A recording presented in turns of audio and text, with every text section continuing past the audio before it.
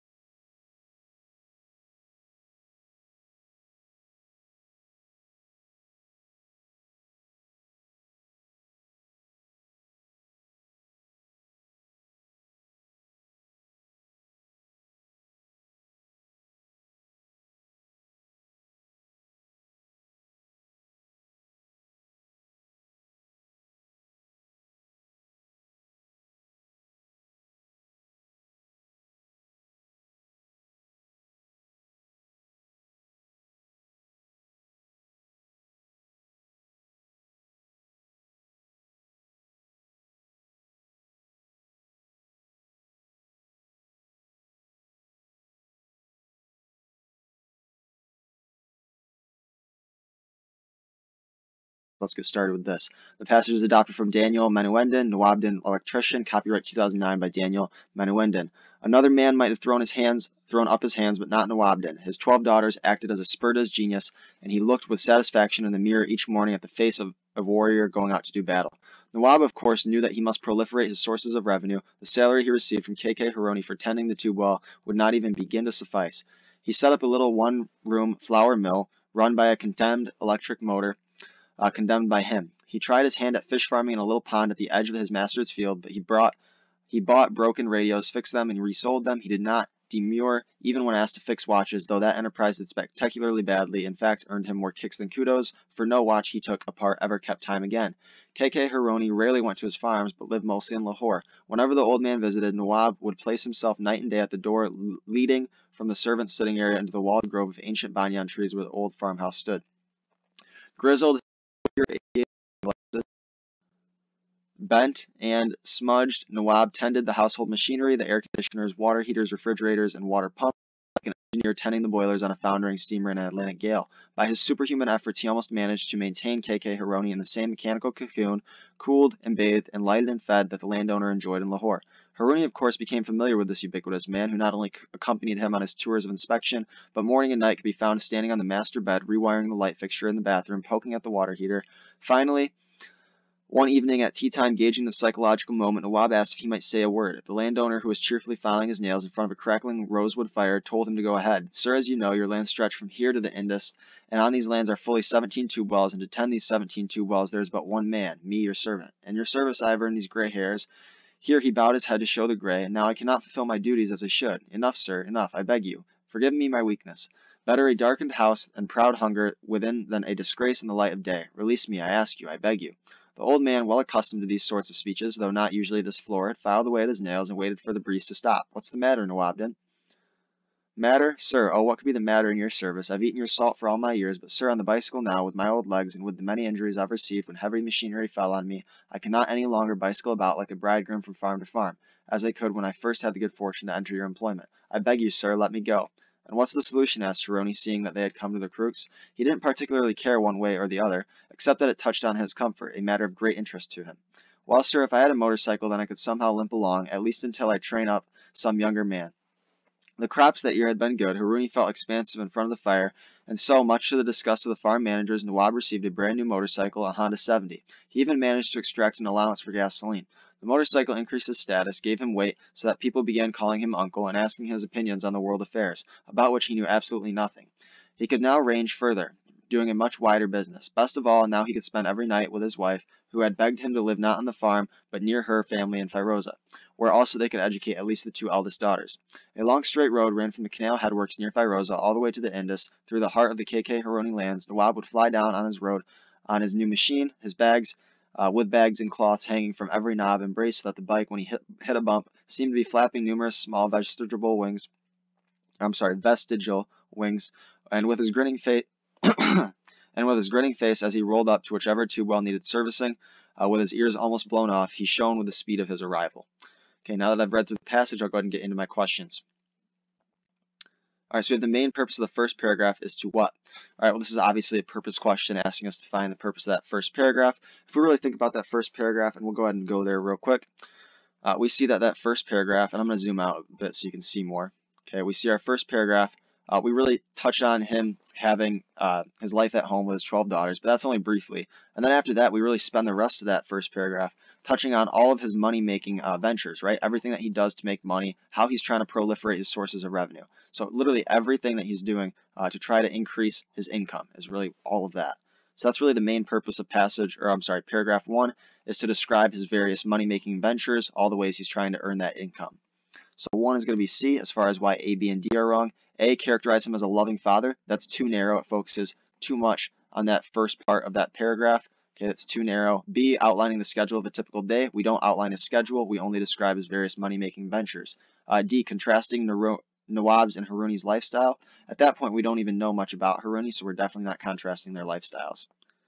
All right, question two, as used in line 16, kicks most nearly means. Anytime I have a most nearly means question, I go to that line, find the word, and try to come up with my own answer choice uh, first. So line 16, it says that the word is kicks. So let's go there. We see that Uh, he did not demur even when asked to fix watches, though that enterprise did spectacularly badly. In fact, he earned more kicks than kudos. For no watch he took ever kept time again. Okay, kudos we know as compliments, uh, so kicks would be something like complaints. Okay, he's receiving more complaints than compliments. No watch he took apart ever kept time again. Obviously, he's not doing well at fixing those watches. He's receiving a lot of kicks, which means compliment, or I'm sorry, uh, which means complaints, right? Kudos means compliments. Uh, in this case, kicks would mean complaints. So I'm gonna look for complaints as an answer. I see I have that in B, so B would be my answer for number two.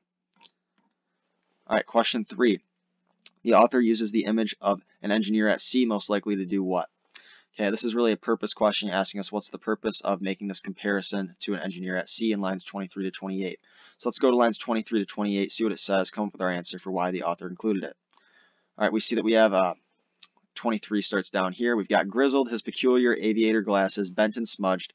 Uh, Nawab tended the household machinery, the air conditioners, water heaters, refrigerators, and water pumps like an engineer tending the boilers on a foundering steamer in an Atlantic gale. Okay, one thing to know, engineers who are tending the boilers on a foundering steamy or on a foundering steamer, okay, a steamer is a type of ship and the boilers are in the boiler room and the engineers who tend to those, that boiler room is like over 100 degrees. It's super hot and it's really, really hard work, much like this hard work of the household machinery, uh, tending to all of that, the air conditioners, water heaters, and fridges. So it's really showing the difficulty and physical strain that Nawab endures in his job or in his occupation. Okay, so let's look at our options here. Uh, a suggests that Nawab often dreams of having a more exciting profession. No, it's not about him dreaming to be an engineer. A is wrong. B, highlighting the fact that Nawab's primary job is to tend to Harouni's tube wells. No, we're highlighting that physical strain, so we're trying to find an answer choice that has that. C, reinforcing the idea that Nawab has had many different occupations in his life. No, we actually know that Nawab has pretty much worked for uh, Harouni for pretty much all of his life, so that's going to be wrong. D, emphasize how demanding Nawab's work for Harouni is. Yes, right, we're showing how demanding it is. Uh, it's demanding like the work of an engineer uh, in a steam uh, or, a, or a boiler room. All right, so now we got question four. Which choice best supports the claim that Nawab performs his duties for Harouni well?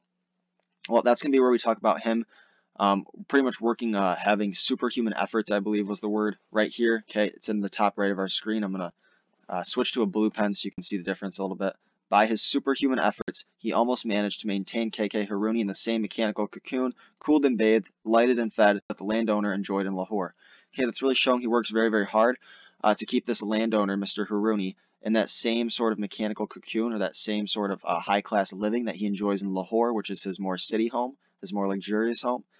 Um, so that was lines, I believe it was 28 to 32, and it was, so that's going to be answer choice A for number 4. So A would be our answer for number 4. That's really showing that he performs those duties well. All right, now we got question 5.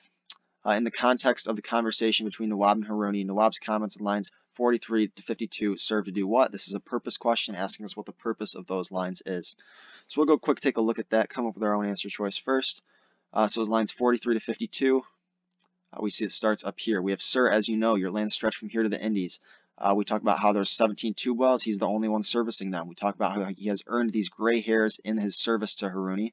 He bows his head, shows his gray hairs. Uh, he talks about how he's getting very old um, he talks about how he wants to be released. So really the big thing here is he's talking about how he's gotten these gray hairs in his service, um, how he's gotten old, but how he's really done a great job being loyal to Harouni over the years. So really focusing in on uh, Harouni's loyalty, or I'm sorry, Nawab's royalty to, man, Nawab's loyalty to Harouni is really what we're focusing on there. So that's going to be answer choice C, emphasizing Nawab's diligence and loyalty to Harouni because he's earned those gray hairs working for Harouni. Um, as far as why A is wrong, flatter Harouni by mentioning how vast his lands are. He's not trying to flatter him. He's trying to show his dedication. B, boasting about how competent and reliable. Uh, he's actually saying he's unreliable now because he's gotten old and he's asking to be released. So that's going to be wrong as well. Uh, D, notifying Har notifying Harouni he intends to quit. No, he's asking permission to quit. He doesn't intend to yet. He's asking permission to. So 5 there is going to have to be C. All right, question 6. Nawab uses the word bridegroom mainly to, to emphasize he's no longer what? All right, this is a words in context question. It said bridegroom was in line 62. I'm going to find that real quick, uh, figure out my answer. So I have I cannot any longer bicycle about like a bridegroom from farm to farm, as I could when I first had the good fortune to enter your employment. Okay, when he first entered his employment, he was young, okay, and he was able to bike like a bridegroom, but now he's old and he can't bike like a bridegroom. Okay, so this is really showing that uh, he used to be younger. Okay, that's really what we're focusing in on there. Okay, it emphasizes that he's no longer young. So 6D would be our correct answer there. Nothing to do with love or naivety or being busy. It has to do with age. So our answer there is going to be D for number 6. Question 7. It can be reasonably inferred from the passage that Harouni provides Nawab with a motorcycle mainly because what? Well, we know that that's because Harouni enjoys his lavish lifestyle and he wants to maintain that. So it's really a selfish decision to do it. Okay, so that's going to be answer choice B. He sees benefit to himself from giving Nawab a motorcycle. He knows by giving Nawab a motorcycle, he can maintain that luxurious lifestyle because Nawab has always done a good job of maintaining that uh, that residence for him. So seven, answer is going to be B there. Um, if we have evidence question for the next one, that'd be nice because I already know where the evidence would be. Okay, we do have an evidence question, so I'll go ahead and find that. That's going to be where we talk about how he makes uh, decisions selfishly. Um, right here, okay, he says, he didn't particularly care one way or the other, except that it touched on his comfort, a matter of great interest to him. Okay, really focusing in on this part right here, that his greatest interest is in his own comfort. So that's 66 uh, through 68. So that's to be my evidence there, 66 through 68. Let's see if we have an answer choice for that. And we see that we do. So that's to be answer choice B for number 8. All right, question 9. And I'm to switch back to my black pen because it's thinner. Uh, the passage states the farm managers react to Nawab receiving a motorcycle with what? Okay, that's disgust. How did I know that so quickly? Well, I actually recall that it said exactly that that word, disgust, and I'll go ahead and find that for you. Uh, it's up here.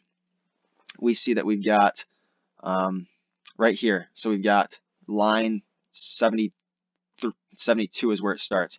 The crops had been good that year. Harouni felt expansive in front of the fire, and so much to the disgust of the farm managers, Okay, when we say much to the disgust of the farm managers, that's showing those farm managers are reacting to Nawab receiving that motorcycle with disgust. So since it's literally giving us the word there, we know the answer there has to be disgust. Okay, now we got question 10, last question for this passage. According to the passage, what does Nawab consider the best result of getting the motorcycle? Okay, that's going to be that he can spend more time with his wife. All right, how do we know that? Well, it actually explicitly says that, so we know why A, B, C, A, B, and C are wrong because it explicitly says he can spend more time with his wife. I'll quick show you where that's at as well. Uh, that's going to be up here when he says, um, right here, best of all. Okay, best of all is telling us that that's the most important thing to him. That's what he sees as the best part of getting that motorcycle. He could spend every night with his wife. So that's explicitly saying that the best part of getting that motorcycle is he can now spend every night with his wife. So we know that 10, uh, for 10, him spending time with his wife is going to be the obvious answer there. All right, so with that, we can go ahead and move on to passage 2.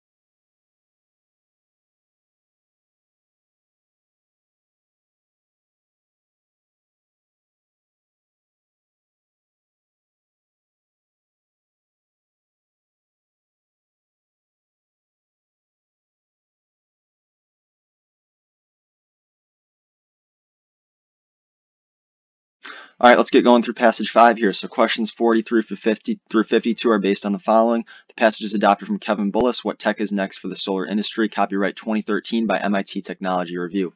Solar panel installations continue to grow quickly, but the solar panel manufacturing industry is in the doldrums because supply far exceeds demand. The poor market may be slowing innovation, but advances continue. Judging by the mood this week at the IEEE Photovoltaics Specialist Conference in Tampa, Florida, people in the industry remain optimistic about its long-term prospects. The technology that surprised almost everyone in convention is conventional crystalline silicon.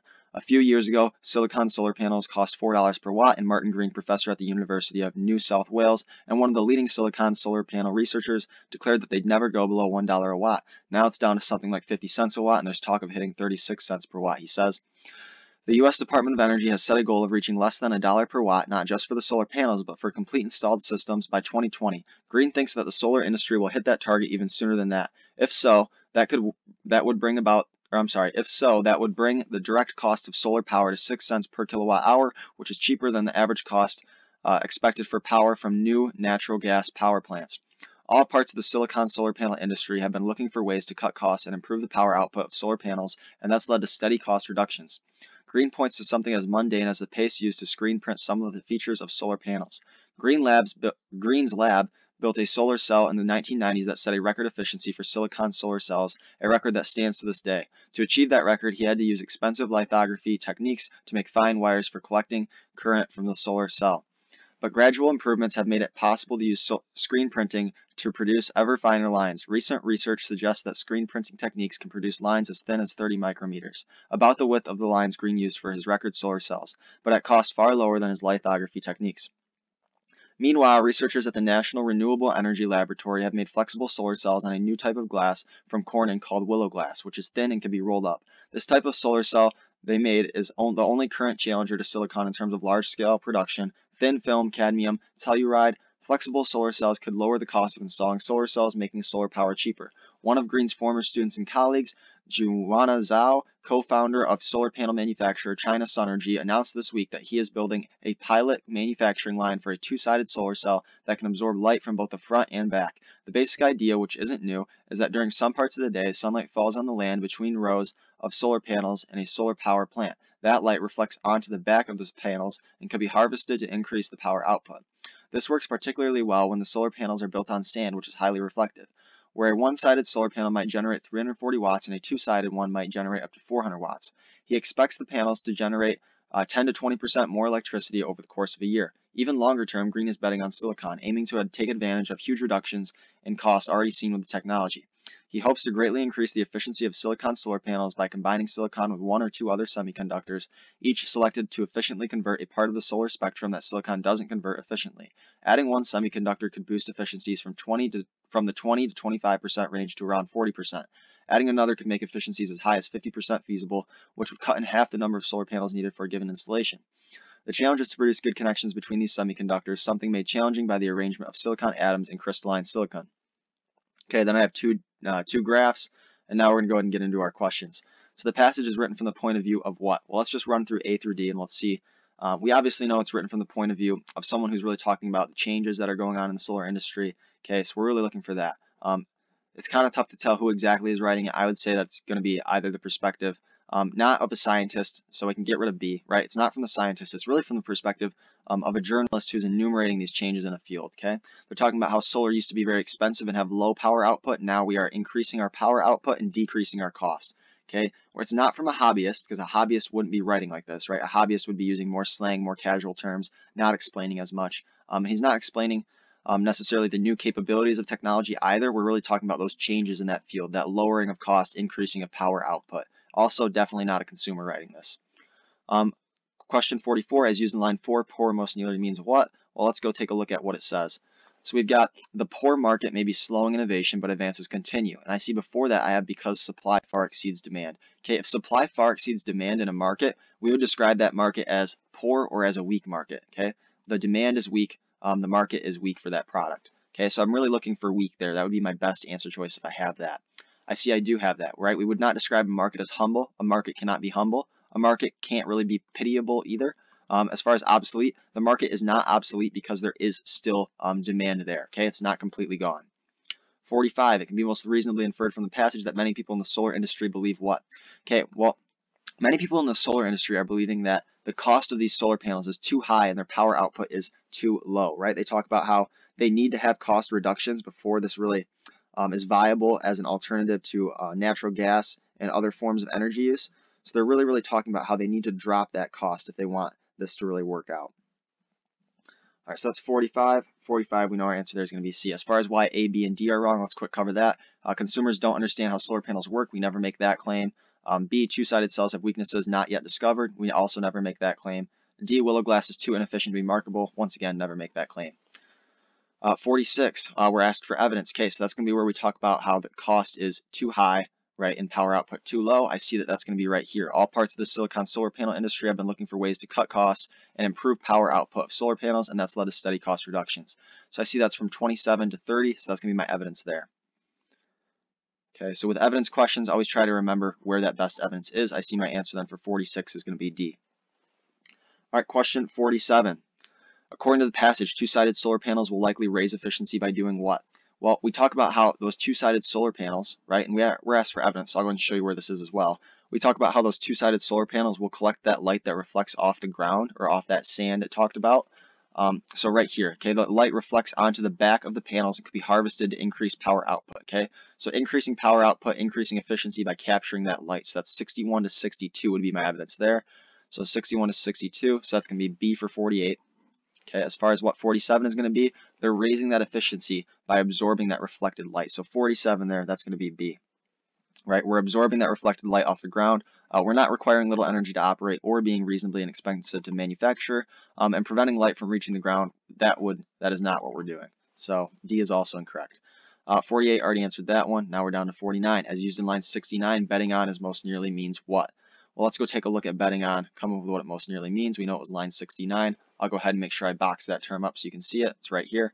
Okay, so we have even longer term. Green is betting on silicon, aiming to take advantage of the huge reductions in cost already seen with the technology. Okay, green betting on silicon here uh, basically means he's counting on silicon or relying on silicon or thinks it's going to be um, a positive thing, right? He's very, very optimistic about it. So anything like that. So anything where it says he's optimistic about it or he's relying on silicon, counting on silicon, anything like that would be a great option. Uh, I see I don't have anything as counting on or relying on silicon, but I do have optimistic about, which is what he is. He's optimistic about it. He's betting on it. He is counting on it, relying on it. He thinks it's going to work. Uh, he's not saying switch from it. He's not gambling with it, um, and he's not dabbling in it either. He's very, very all in with this. He's not dabbling. He's betting on it, right? He's optimistic about it. Uh, 50, the last sentence of the passage mainly serves to do what? Let's go take a look at what that sentence is. Come up with our own answer first so we don't get stuck between two.